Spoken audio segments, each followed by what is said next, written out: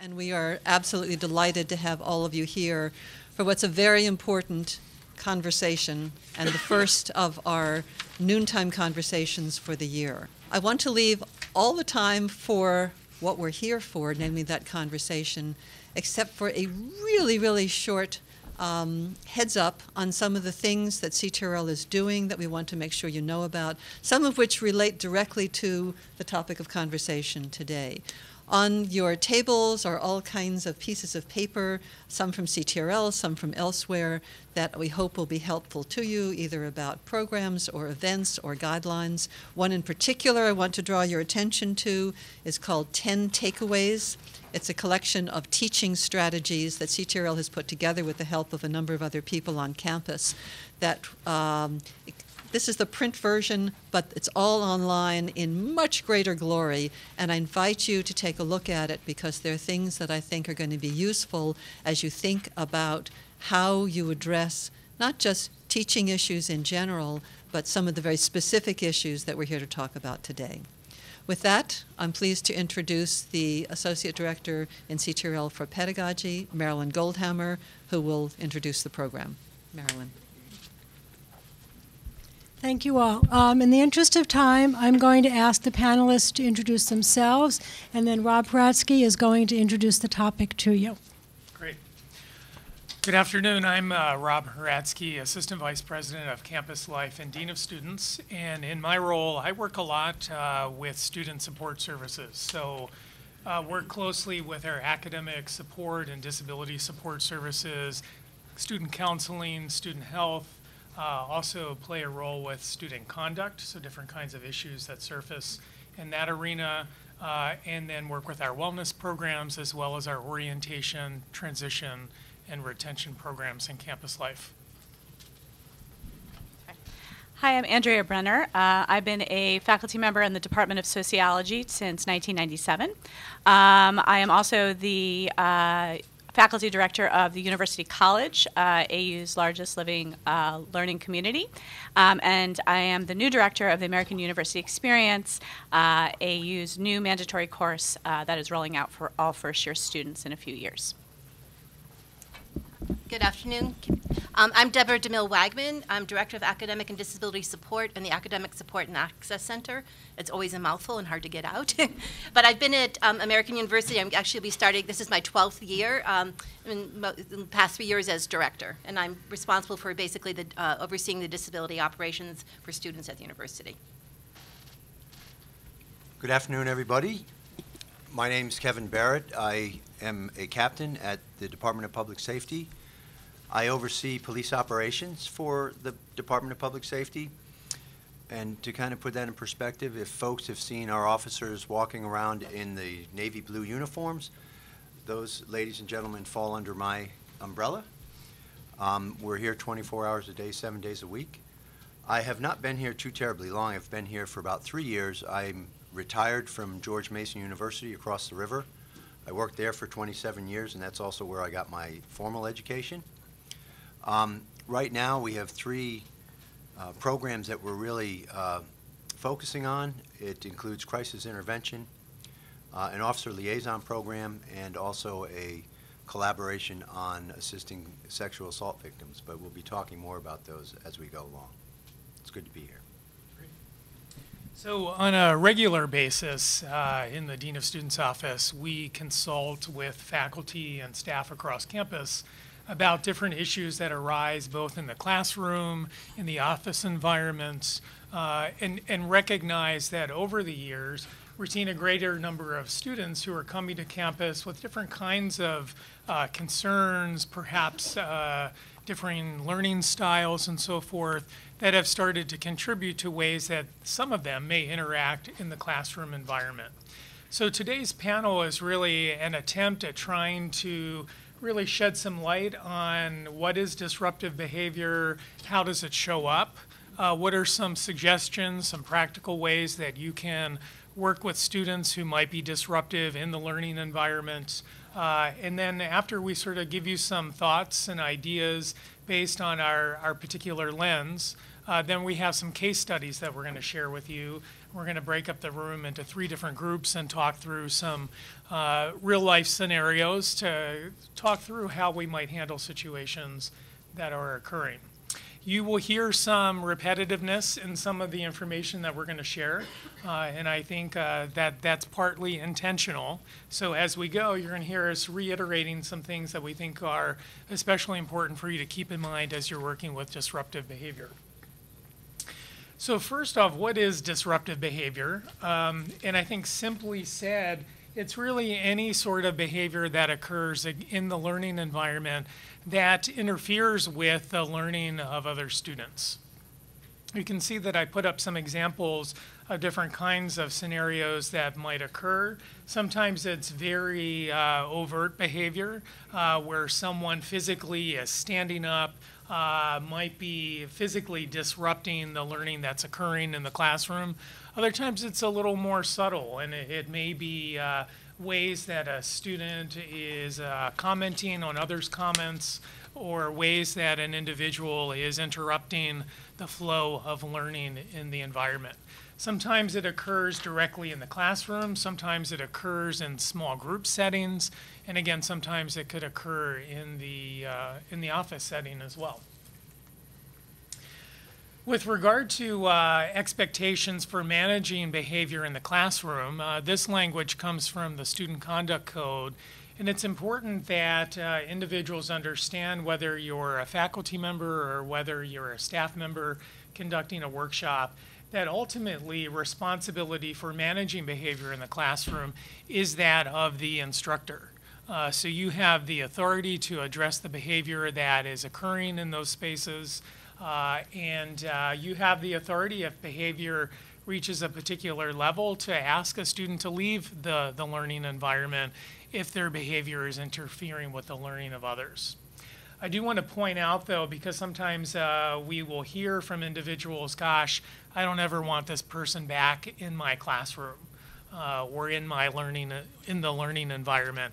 And I do want you to know that uh, before we can permanently remove a student from the learning environment, there is a conduct process that needs to occur so that the student has a full opportunity to uh, address the behaviors that are concerning and we figure out how best to uh, handle that particular situation.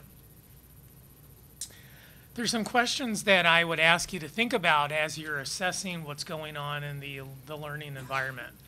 And first, I think we need to recognize that every student has a particular baseline of behavior, right? So we know that some people are very expressive, some people are very quiet and reserved. Uh, some people uh, will want to share their opinion about every issue uh, that's brought up in, in, in a particular class.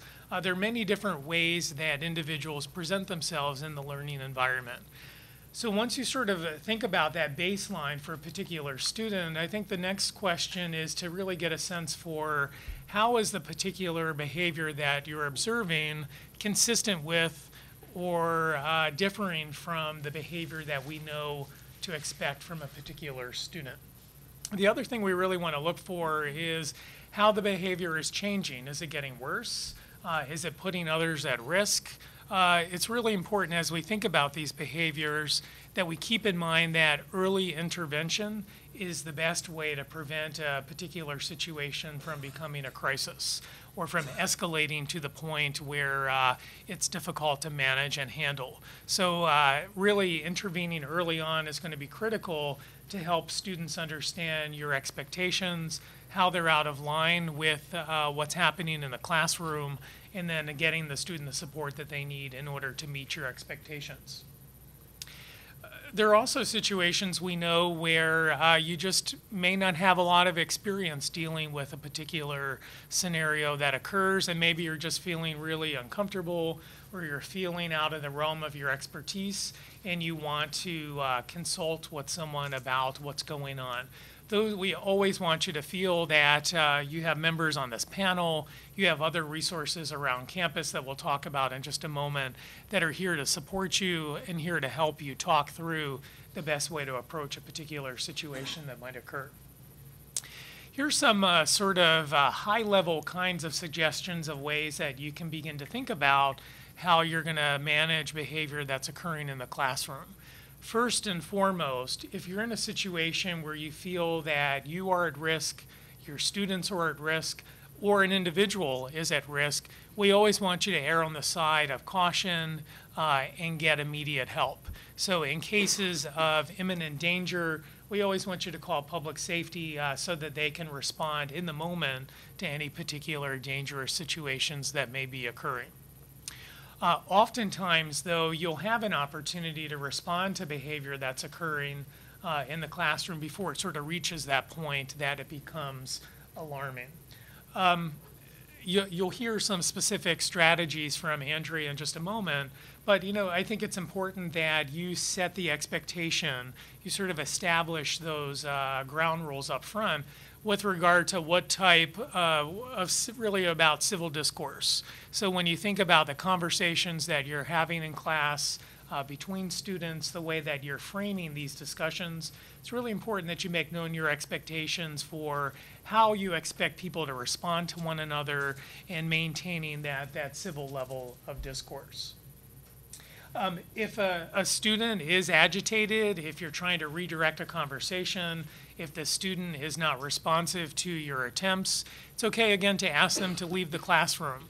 But it's going to be very important that you follow up with that student outside of class, have a one on one conversation, better understand what's going on with that student, and then again lay out clearly what your expectations are. It, it's helpful after you've had that verbal conversation to follow it up in email make sure that everyone's on the same page with regard to the expectations uh, moving forward. Really important in these situations that students feel heard. So, you know, give them an opportunity to really talk about what was going on for them in the moment. Uh, what what what sort of drew out of them the emotions that they were having that contributed to the way that they handled those situations giving them an opportunity to feel heard and to really express all that was going on for them is going to help them to feel valued. It's going to also help them to feel heard, and it will help them to, it'll help to de escalate the situation moving forward. And then finally, it's really, really important when these situations occur that you uh, file a Care Network report. You put it on our radar, you let us know that this is going on. It may be that you feel that the situation is contained, um, there, there's no additional follow up that's needed, but it's really helpful for us to have information about uh, what, what happened so that we in, in the Dean of Students office can begin to connect the dots. Uh, the, the great thing about the CARE network is we get reports from academic advisors, we get reports from our faculty, we get reports from the residence halls, from the library, from the Career Center. So this really helps us to identify situations where students may be struggling in multiple environments so that, again, we can reach out and offer support, hopefully before a situation becomes a crisis. What are our options for handling these situations? Um, I have seen a number of things uh, that we have done to help manage these situations. Uh, and the important thing to understand is that one size doesn't fit all. A lot of it is very context specific, and we can work with you around the particular situation that's occurring to develop a behavioral agreement uh, with expectations moving forward. So, for example, um, I can think of a situation where we had a student who was constantly uh, interrupting in class asking questions repeatedly and was asking to the tune of 12 to 15 questions in each class period uh, that was becoming disruptive in the learning environment. In that situation, the way that we resolved that was by helping the student understand that we wanted to make sure that their questions were addressed, but we actually put very clear limits in place. So when the, in the learning environment, we want to limit the number of questions that you ask in that particular case, we limited the questions to three, uh, but then said, please come to my office hours afterward, and I'll be happy to talk through any additional questions that you have to make sure that you're feeling comfortable with the material and have a chance to express your opinions about the material. So it's just one example of many uh, that we can be very clear about our expectations moving forward. Sometimes, and Deborah will talk a little bit more about this, there might be something else going on with a student with regard to a disability where maybe they're not really understanding cues that you might expect them to be picking up on, right? So there may be some accommodations and things that we can put into place to help with those students. Sometimes we understand that the impact of a student's behavior affects not only the faculty member and the individual, but can really have an impact on the classroom. And that's where uh, we've had scenarios where I've actually come in and debriefed with the class about what happened and, and uh, looked at ways that we could move forward. We can also uh, coach the individual about how they can handle a debrief in the classroom and, and support the other students who are affected. So important to think about the total impact uh, on both the individual and the classroom. Um, in more extreme kinds of situations, we've reassigned students to another course section, or in cases where we felt there really was an immediate threat, we have uh, suspended the student until we could uh, get them the support that they needed to continue in the classroom. So lots of options uh, that are available for managing the, uh, the situation. Real quickly, I know Marilyn held up the Care Network brochure. You have those on your table. Uh, just keep in mind that that's a way for you to share concerns about students. Um, it's not a disciplinary action. You're not getting the student in trouble. Um, you know, we've heard concerns from some folks about this feels like Big Brother. Uh, and the reality is, I could count on one hand in the eight years that I've been here, students who've actually reacted negatively to care reports. Uh, more often, students say, Gosh, I, I'm glad someone noticed something was wrong and really appreciate uh, that someone reached out and tried to offer support to me. Uh, and you'll see this in the brochure as well. It's really easy to submit a care report. You go onto the MyAU portal, you click on Life at AU, and then just uh, click Care Network, express concern about a student, fill out a form. Uh, once we get that, that comes into the Dean of Students office. The uh, assistant dean reviews each and every report that comes through, assigns a case manager, and then that case manager is responsible for working with the student to resolve that situation. I'm going to uh, hand it over to Andrea, and she's going to talk about um, some very practical uh, tips. Thank you. Um, so what I'm going to talk about is really specific to the classroom environment, although certainly it could be uh, uh, parlayed into any kind of workshop environment or class meeting. It certainly does not need to be faculty-centric. Um, so really what I'm saying here is your classroom, your space, their classrooms, their opportunity to learn. Uh, and faculty members do need to establish a classroom environment where all students can learn. It's as simple as that. Um, they should have a professional responsibility to treat their students with understanding, with dignity, and with respect. And if you look at the second bullet, you'll see the same thing for students. Students should expect a classroom environment where they can learn um, and should have the responsibility to teach, to, to treat their professor and their peers with understanding, dignity, and respect. Um, but we also have a third bullet here, which is that if a student chooses to disclose information about their disabilities and their learning needs, the faculty member is responsible for making sure that the students receive their ASAC approved accommodations and as well that they demonstrate the flexibility in working with that student. I had a student recently who um, had an approved uh, use of a laptop in, in their course, um, went with their letter to their faculty member who said, yes, I understand you need to use a laptop for note taking, and then found in the next class that he needed to sit in a separate section of the room if he was using a laptop rather than uh, note taking by hand. So, although the faculty member in this respect was allowing the use of the laptop, uh, they did not necessarily provide the student with the best learning environment for, for, that, for that student. So, we need to sort of, I, I think, widen that definition. Know your limits uh, and use campus resources. Professors are educators. Uh, we're academics. We are not necessarily experts in handling behavioral issues in the classroom, and in many uh, respects, we should not be. Uh, but there are campus experts here who can help us, uh, and so we should really be able to reach out to the Dean of Students Office, uh, CTRL, ASAC, the Counseling Center, and of course, Public Safety. They're our allies, and they're there to, to help us and to teach us. So I'd say here, uh, many times prevention is really the answer. Uh, the best time to deal with classroom disruption often occurs before it begins. Uh, and sometimes, I would say many times, disruptive behavior occurs because the communication between a faculty member or a staff member um, and the student uh, is not well established. Uh, so faculty can take steps to reduce the likelihood of these disruptive behaviors in the classroom by creating clear guidelines uh, and also a positive classroom environment. So I put together nine bullet points. I just wanted to talk you through and show you some examples. Um, the first one is be- even before class begins, designing a syllabus that sets the stage. Uh, it clearly uh, um, outlines appropriate behavior. Faculty members often we have no hesitation to talk about cell phone policies in our class, uh, but we really are a little bit um, hesitant often to talk about appropriate behavior in our class as well. Creating class ground rules with your students, and I actually just brought I'm currently teaching uh, an- a new AU Experience course, and these are the class ground rules that my students came, do you mind holding this up? I'm a little short.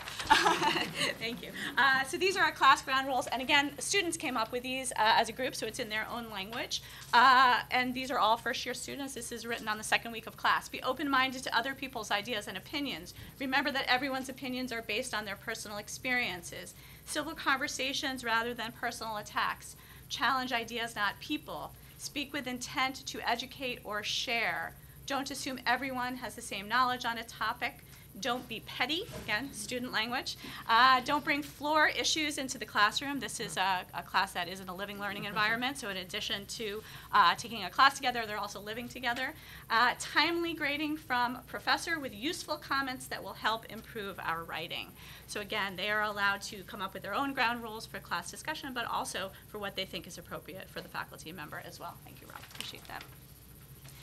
Um, I do not bring my class ground rules to every class, but, uh, or I do not take them out. I have them with me in every class. I do not take them out. However, there are times when I feel that I need to sort of unroll that large Post-it and, and I can say, it's there, it's in your words. Let's go back to our class ground rules. Um, number four, uh, excuse me, number three, expect respectful communication and uh, re- expect respectful communication and model it. Um, and I would say three and four are very similar to some of the parenting literature.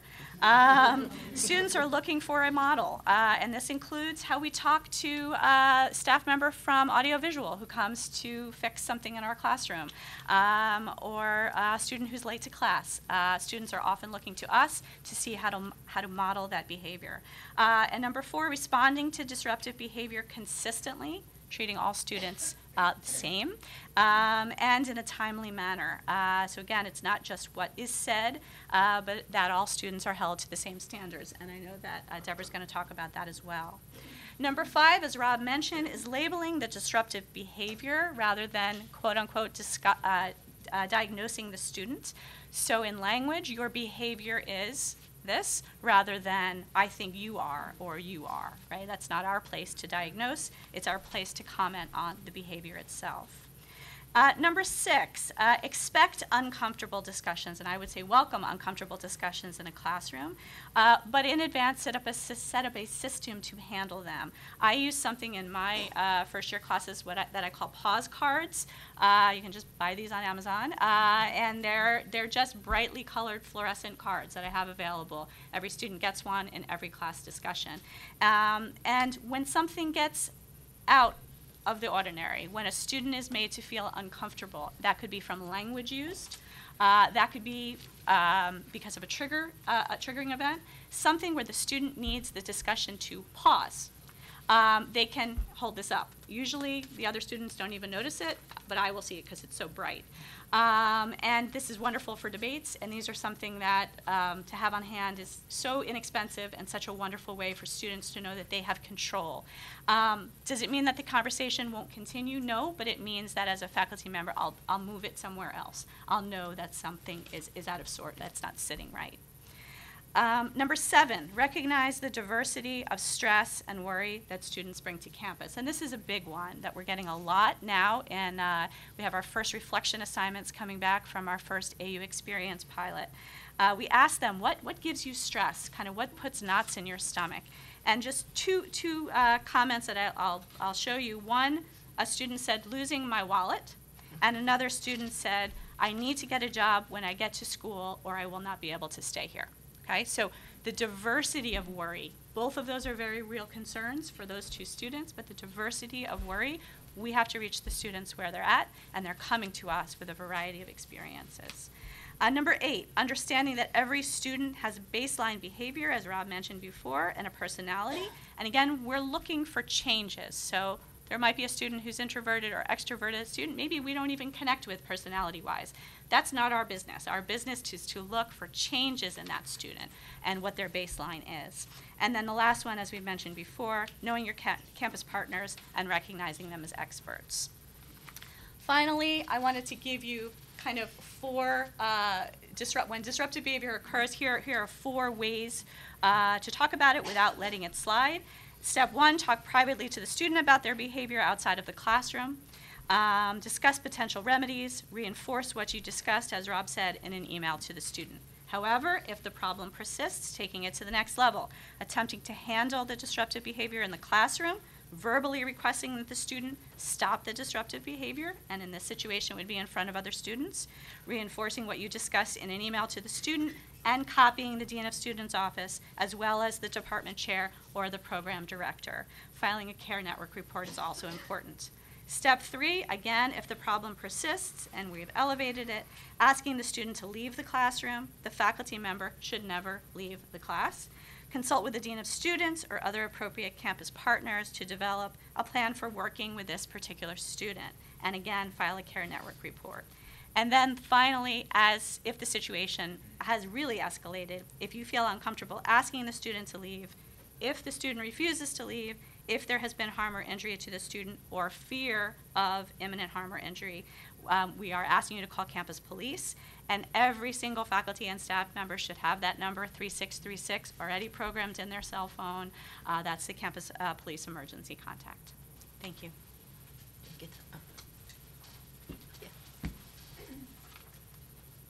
I have to preface my remarks first by saying, um, in some ways, I'm really loath to talk about behavior and disability because they're really, I don't want anyone to ever sort of stereotype, expect that the type of behavior that you're seeing is the result of the disability. Yes, it will sometimes impact behavior, but, you know, I think that we all know that there's a really delightfully a, you know, broad range in this room, like a faculty of, you know, staff, of students who all bring different unique experiences in their communication style, body size, abilities, um, learning styles. And so, you know, never, you know, once again, emphasize one point here is like respond to the behavior, react to the behavior.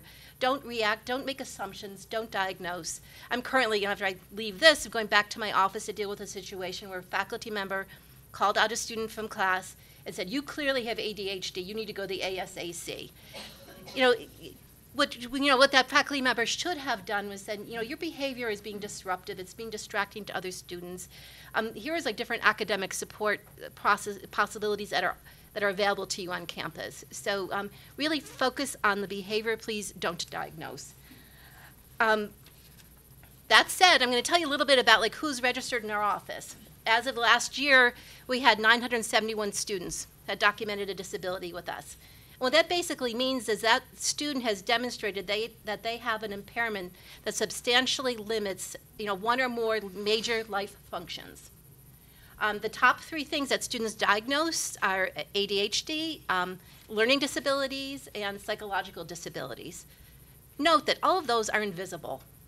I mean, and, you know, invisible disabilities tend to make people very uncomfortable because, you know, people like what they can see. You know, it, they understand a person who is a wheelchair user who has an access issue, and it's harder to understand. You know, many of these things, will, people will make a lot of judgments about why someone's acting the way that they are, and it's often based on that person's inability to control him or herself, or you know, some other sort of judgment. If they could just do this a little bit better, this wouldn't be so hard for them.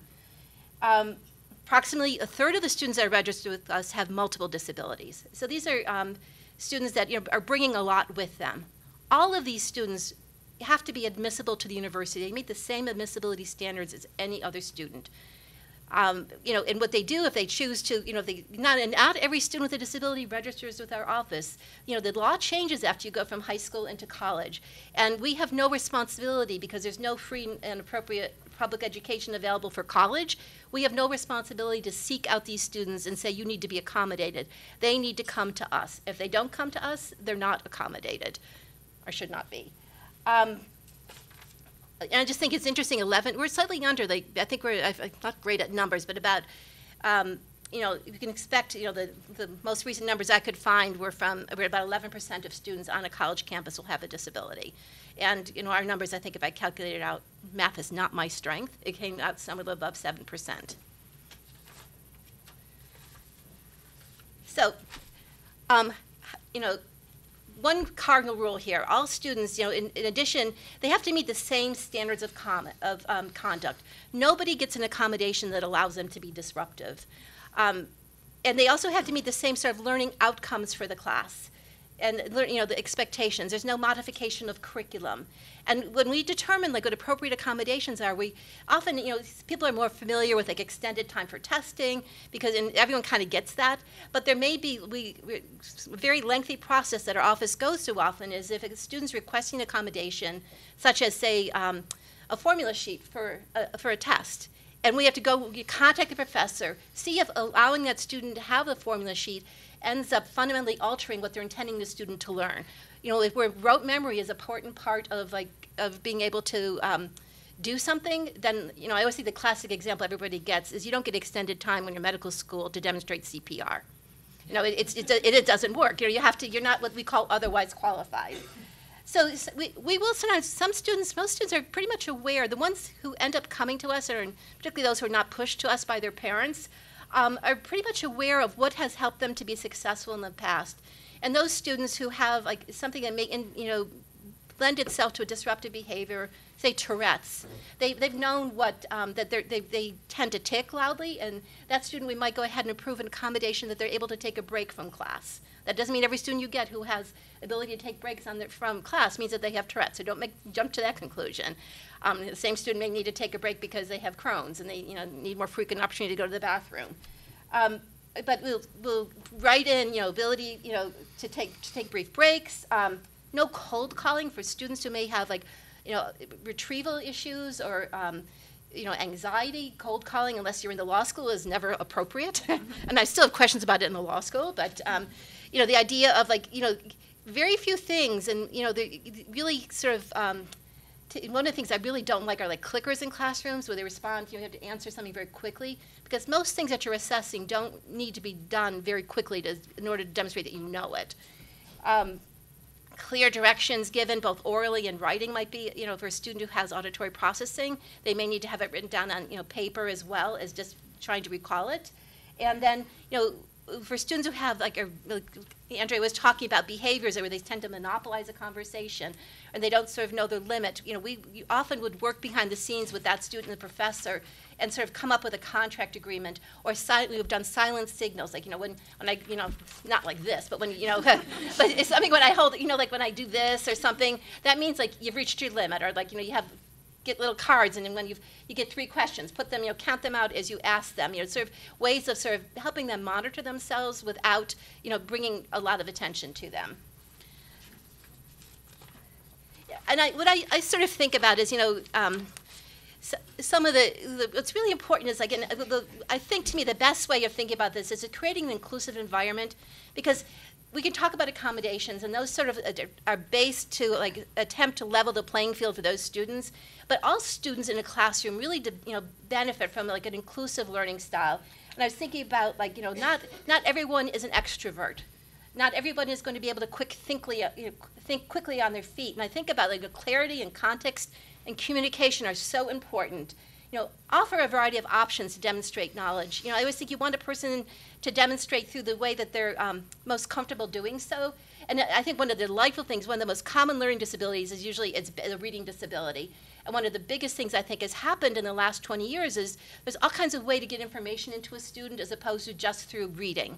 You know, whether it's like watching TED Talks or something, and you know, there's a, think about the different ways of students can absorb information think about the fundamental structure of your class. You know, what it is that you're really teaching. we, we deal, you know, probably the thing that takes the biggest time for us is dealing with accommodations around attendance. Um, and often, you know, we have these discussions with professors, and they'll say, well, they have to be, they can only have three absences. And, you know, the, the, the whole formula we have to go through, then, you know, we look to guidance in the Office for Civil Rights, Department of Education, is you just can't say because I said so. It has to be because there's a reason for it. Is there, and there's actually all different steps, and some of you may have gotten those letters you go through. Is that the class based heavily on participation? Is it an oral component to it? Is there, um, you know, how is it going to impact if the student is not here? If it's a strict, what I call chalk and talk lecture, presence may not absolutely be necessary to be there. But so think about um, the Officer of Civil Rights will give great deference to any decision that's made by an academic, provided they've thought it through and there's reasoning behind it. Like if you're going to ask for a language waiver, you know, is it part a fundamental part of the degree? If you, you know, if, if you're, um, you know, majoring in Italian, you have to learn Italian. You can't be an Italian major without, you know, knowing the language.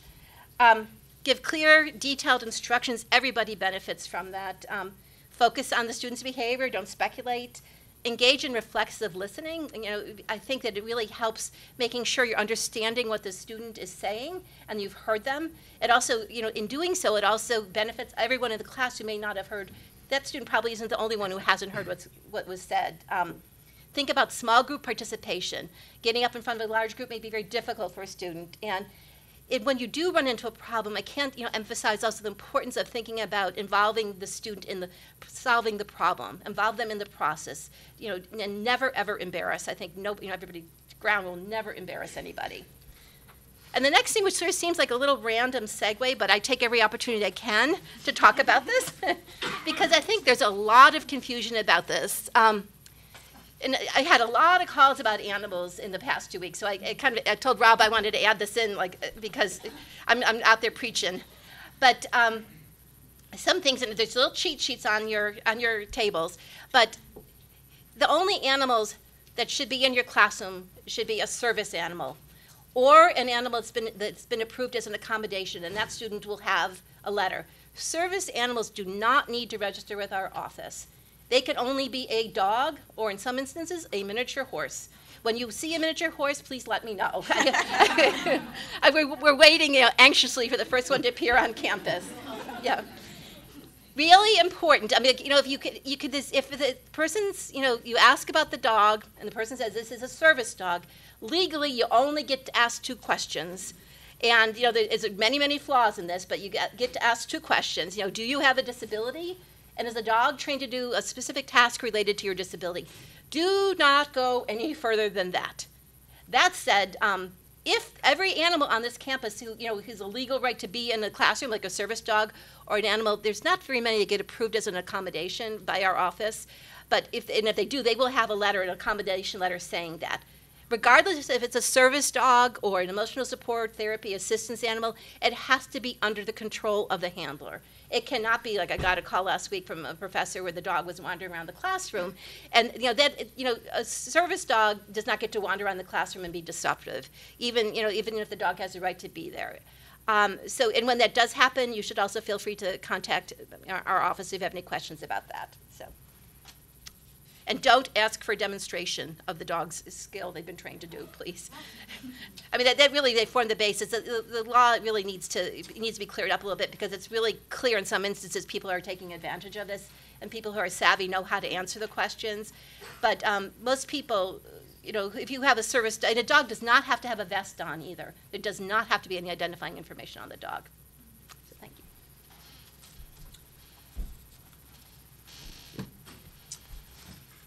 So when do we call the police? Um, Unfortunately, in our worlds today, there are situations where you, you might need some additional support.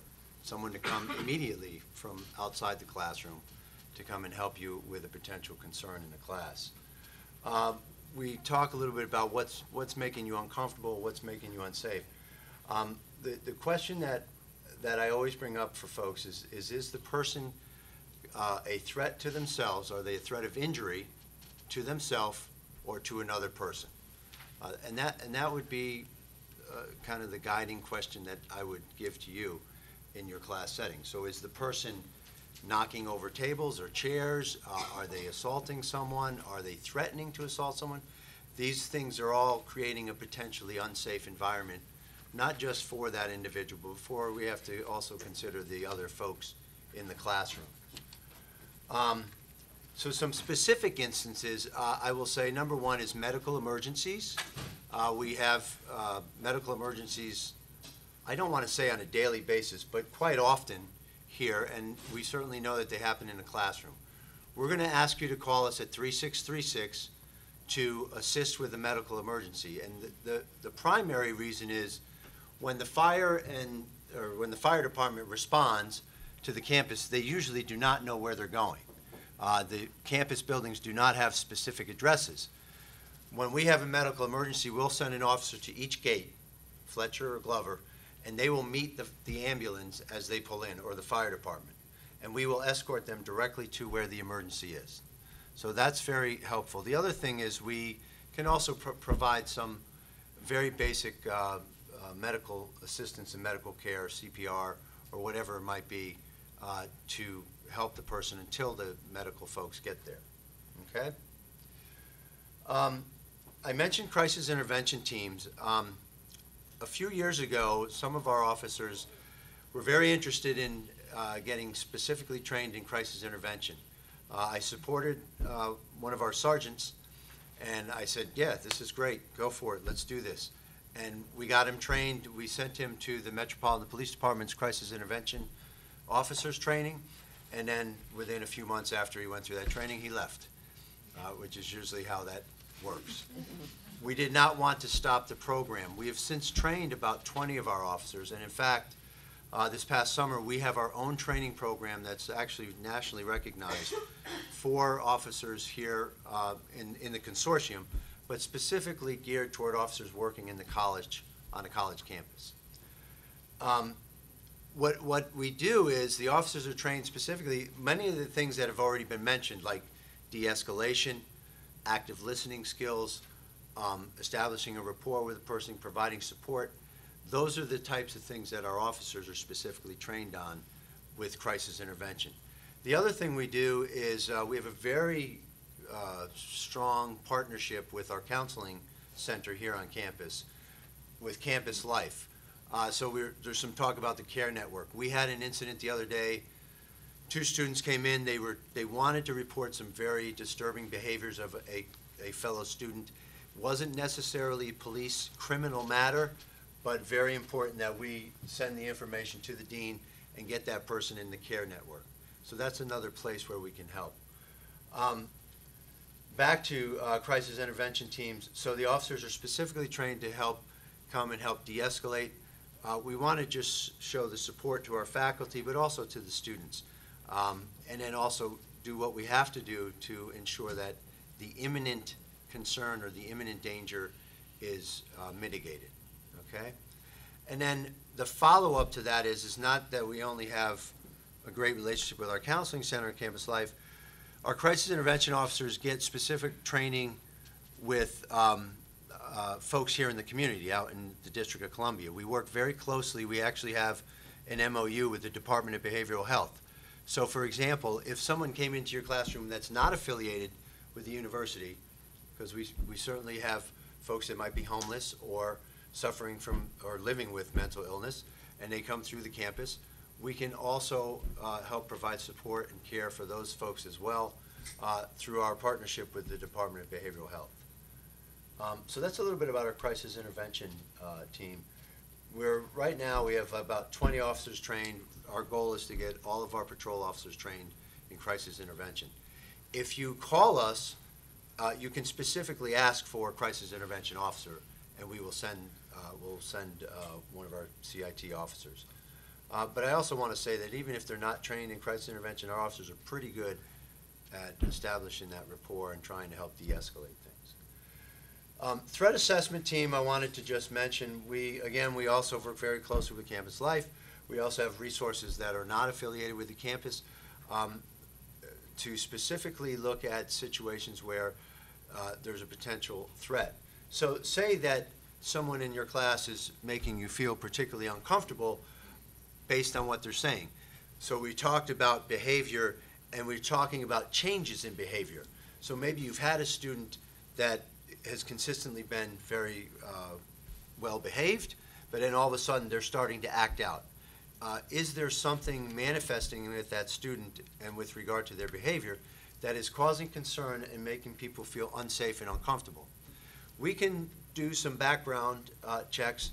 We actually have a contract with a behavioral psychologist to help provide us with additional information as to whether or not this person might be uh, serious concern with regard to future threat.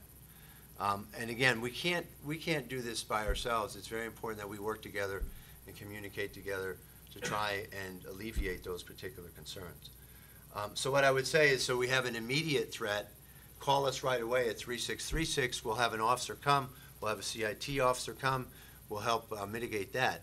If you're seeing troubling behaviors that are threatening in nature, but that are not necessarily immediate, we can also help uh, provide uh, feedback and, and do an assessment with regard to that particular individual on what they might be uh, for potential future concern. We also will work very closely with Campus Life on those situations. Um, And then finally, the one that uh, never, is, well, is always unsettling, is active shooter. Again, in today's day and age, it's, it's a very real uh, concern of folks. Uh, And one of the, um, the, biggest things that we've done is done training. Training with staff, training with uh, faculty. And the, I guess the bottom line to it is, you know, what do you do in an active shooter situation? And it's exactly what it says there. It's run, hide, fight. There is a um, uh, video uh, that you can Google, just do run, hide, fight, and it's a Department of Homeland Security, and it's a pretty good uh, video, It explains exactly what run, hide, fight means. Um, But in an active shooter situation, you are responsible for no one but yourself and your own safety. Um, And if you have the ability to get away from harm's way, then we say run, or leave the area and get off campus, okay? If you're not able to do that, if the concern is, is, you know, maybe right here on the floor, or coming down the hallway, or you see the individual when you walk out the door, then we would say hide. So what, what can we do to hide? What are some things that you can do to hide? Like right here, right now, what could we do? There you go. So we'd squeeze about as many people as we can in that room, but you're absolutely right. Anything else in this room? We might uh, hide behind the barrier. We might drop the blinds, right? Close the blinds on the windows, turn the lights off. Ask everybody to turn your cell phones down. Cell phones are big.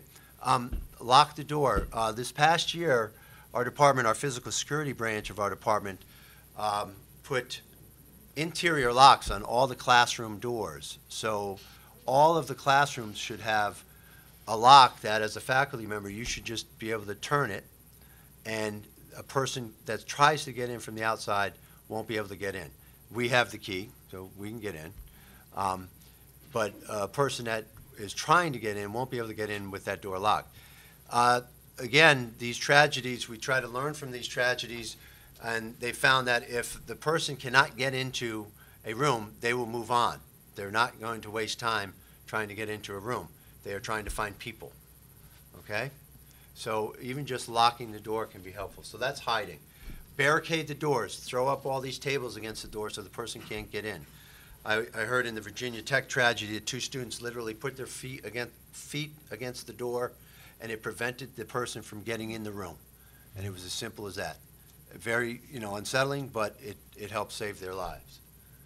And then the last thing that they talk about is fight. Uh, there, in some of these tragedies, we've learned of tragedies where persons put their head on the table or hide underneath the table, and the and the killer has come by and um, you know taken a life. Uh, the third part of this is if the person does get into the place or the room, you fight them, and you fight them aggressively. Uh, and the idea is to stop the threat, stop the harm. Um, so that's the uh, basic information that we provide for active shooter. Uh, Just one other point, when first responders, and first responders are going to be coming really, really quickly. We have, we work very closely with MPD on this. Um, The initial responders are not there to care for the injured. What are the initial first responders there to do, the first police officers? stop the threat. Okay, we want to do everything we can to mitigate and stop any further harm coming. So the first officers on the scene, they get together as a team. It could be one, maybe two officers, and they're going to go and engage and stop the threat. But you're going to get a whole lot of other folks coming behind them that are going to be there to help folks out. Okay?